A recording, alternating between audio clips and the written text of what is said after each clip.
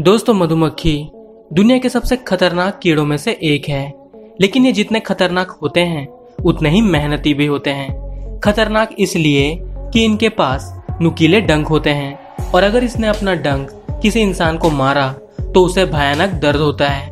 और मेहनती इसलिए कि जैसा कि हम सभी जानते हैं कि ये मधुमक्खियाँ मीठा और स्वादिष्ट शहद बनाने के लिए जानी जाती है, जिसके लिए ये काफ़ी मेहनत करती है। ये मधुमक्खियाँ विभिन्न प्रकार के फूलों का रस पीकर एक स्वादिष्ट शहद का निर्माण करती है।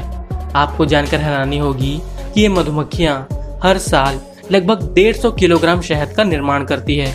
और अगर बात करें इनके परिवार की तो इनके एक छत्ते में लगभग बीस हज़ार से पचास हज़ार मधुमक्खियाँ रहती है, जिसमें 500 से 600 नर मधुमक्खी होते हैं। और इस छत्ते में सिर्फ़ एक ही रानी होती है, जो इनसे आकार और ताकत में बड़ी होती है।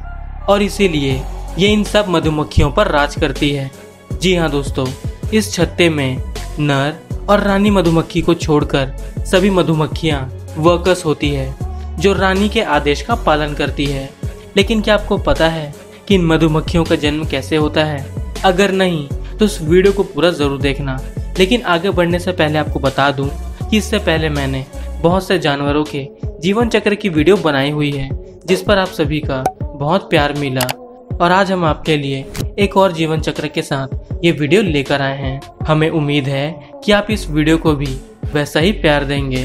तो चलिए वीडियो शुरू करते हैं।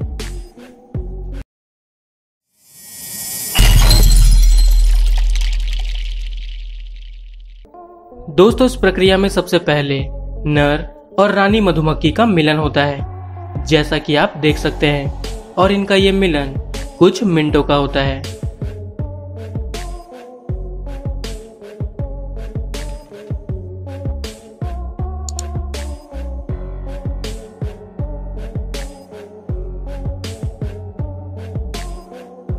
तो जैसे इनके मिलन की प्रक्रिया पूरी हो जाती है, उसके कुछ दिनों बाद ही रानी अंडे देने की अवस्था में आ जाती है। दोस्तों, आपको जानकर हैरानी होगी कि रानी मधुमक्खी एक बार में लगभग 2000 से 3000 अंडे देने में सक्षम होती है। जी हाँ दोस्तों, ये मधुमक्खी छत्ते के एक खंड में एक अंडे दे देती है, जिसके बाद इन अंडों की देखभाल वर्कस मधुमक्खियाँ करती है। लेकिन दोस्तों, इन अंडों की भी एक अजब कहानी होती है, जिसे जानकर आप भी हैरान हो जाओगे। वो ऐसे कि ये मधुमक्खी दो तरह के अंडे देती है, एक फर्टिलाइज और दूसरा अनफर्टिलाइज। अगर फर्टिलाइज अंडे की बात करें तो इस अंडे से रानी मधुमक्खी और मादा वर्कस मधुमक्खी का जन्म होता है। अगर बात करें रानी मधुमक्खी की तो इसे रानी मधुमक्खी इसीलिए कहा जाता है क्योंकि ये रिप्रोड्यूस करने में सक्षम होती है।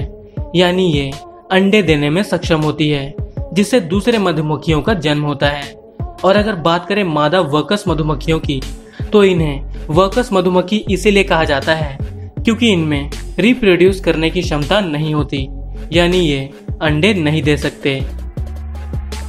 और अगर बात करें अनफर्टिलाइज एग की तो इस अंडे से नर मधुमक्खी का जन्म होता है, जिसे ड्रोन भी कहा जाता है। तो जैसे इनके अंडे तीन दिनों के हो जाते हैं, उसके बाद ये लार्वा में बदल जाते हैं। और जैसे ही ये लार्वा में बदल जाते हैं, उसके बाद ये वर्कर्स मधुमक्खियाँ इन्हें स्पेशल जेली खिलानी शुरू करती है। जिससे इनका विकास तेज़ी से बढ़ने लगता है। ये स्पेशल जेली बिल्कुल उसी तरह से तैयार की जाती है, जिस तरह ये शहद बनाती है। बस इनमें कुछ फूलों का फ़र्क होता है। तो लगभग तीन दिनों तक ये सभी लार्वा को स्पेशल जेली खिलाती है, जिसके बाद इन्हें पता चल जाता है कि इनमें रानी मधुमक्खी वर्कर्स मधुमक्खी और नर मधुमक्खी कौन बनेगी। तो जैसे ही इन्हें इस चीज़ का पता चल जाता है उसके बाद ये सिर्फ़ रानी मधुमक्खी बनने वाले लार्वा को ही स्पेशल जेली खिलाती है, जिससे उसका विकास तेज़ी से हो सके और मादा वर्कस मधुमक्खी और नर मधुमक्खी को ये अपना शहद ही खिलाती है। जी हाँ दोस्तों, लेकिन ये ऐसा इसीलिए करते हैं क्योंकि इनके छत्ते पर सिर्फ़ रानी मधुमक्खी का ही राज होता है और वो आगे जाकर रिप्रोड्यूस करके परिवार की संख्या को आगे बढ़ा सकती है। और इसीलिए रानी मधुमक्खी वाले लार्वा को विशेष पौष्टिक भोजन खिलाकर ताकतवर बनाया जाता है। तो जैसे इन लार्वा को छह दिन पूरे हो जाते हैं, उसके बाद इन खंडों को मोम की परत से बंद कर दिया जाता है, जिसके बाद लार्वा अंदर से प्यूपा बनाना शुरू करते हैं, जैसा कि आप देख सकते हैं।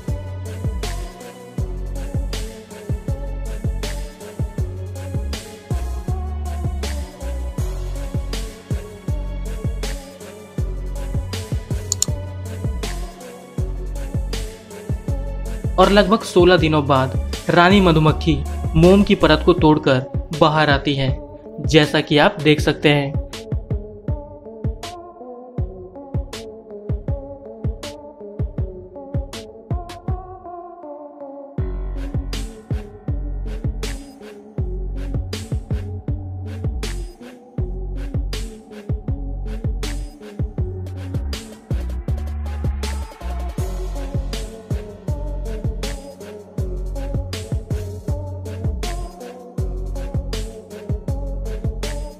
और इस तरह रानी मधुमक्खी का जन्म होता है।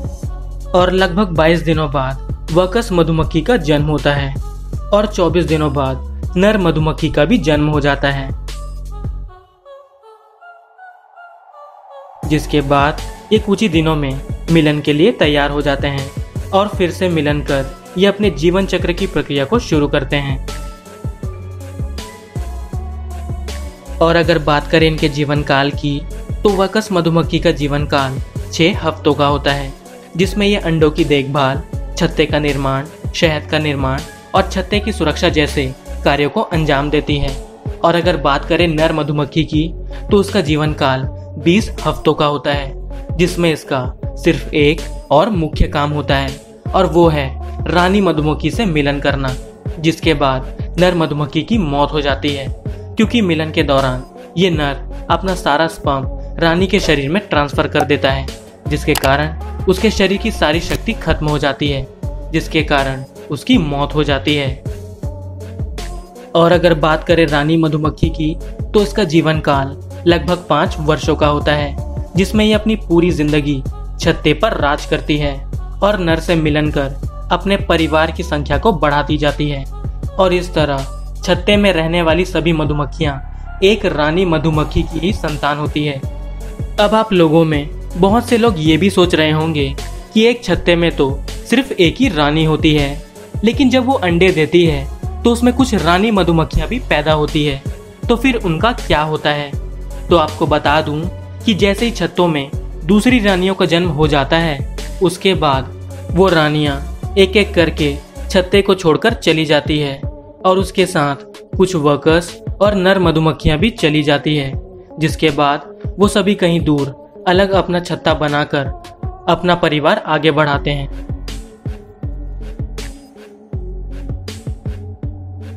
तो दोस्तों, उम्मीद करता हूँ कि आपको ये वीडियो पसंद आई होगी। अगर आपको वीडियो अच्छी लगी तो इस वीडियो को लाइक, शेयर और चैनल को सब्सक्राइब कर दीजिए। और इस तरह की वीडियो देखने के लिए स्क्रीन पर आ रही वीडियोस या फिर डिस्क्रिप्शन में दिए गए लिंक को चेक कीजिए। मिलते हैं अगली वीडियो में। तब तक के लिए बाय।